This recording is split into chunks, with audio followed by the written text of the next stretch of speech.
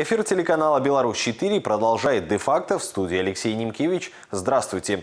Полторы тысячи долларов – цена незаконной перевозки в Гомельском районе.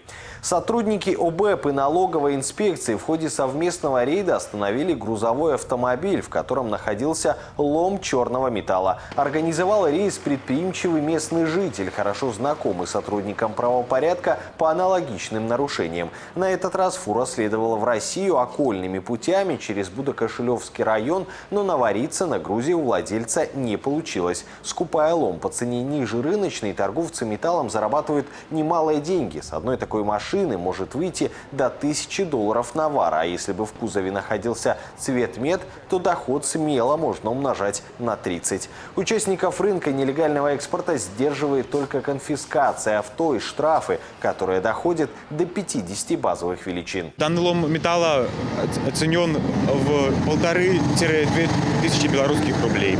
Э, В отношении данного человека сотрудниками э, МНС по железнодорожному району города Гомеля после проведения проверки будет составлен протокол по части 1.1 статьи 12.7 КоАП Республики Беларусь.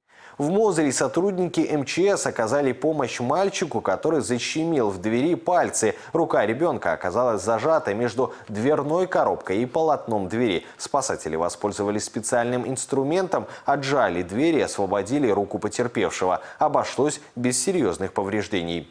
Сотрудники ГАИ провели еще одно массированное спецмероприятие. На дорогах Гомельской области они устроили фильтр для автомобилистов. В течение получаса инспекторы останавливали автомобили и проверяли у водителей документы. Цель фильтра – повышение дисциплины участников дорожного движения, выявление нетрезвых водителей и иных правонарушений, а также их предупреждение. За время проведения мероприятия 11 автолюбителей было привлечено к административной ответственности за, с- за управление механическим транспортным средством в состоянии алкогольного опьянения. 17 водителей не имели права управления, а также 5 водителей было привлечено по статье «Непропуск пешехода», не предоста- точнее, не предоставление преимущества в движении пешеходам на пешеходных переходах. Таков обзор происшествий к этому часу. Оставайтесь с нами. Я Алексей Немкевич. Благодарю за внимание. До свидания.